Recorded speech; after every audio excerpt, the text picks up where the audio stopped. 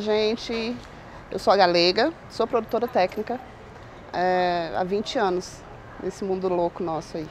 Eu comecei como segurança, fazendo de tudo um pouquinho, passei por produção, auxiliar de produção, por camarim, por tudo, e me apaixonei quando eu vi o palco e resolvi ser uma produtora de palco. Eu queria aprender a montar uma bateria, passar um cabo, foi isso que me fascinou. Eu comecei por precisão, por me ver uma mãe solteira com dois filhos para criar e acabei ficando por me apaixonar por esse mundo.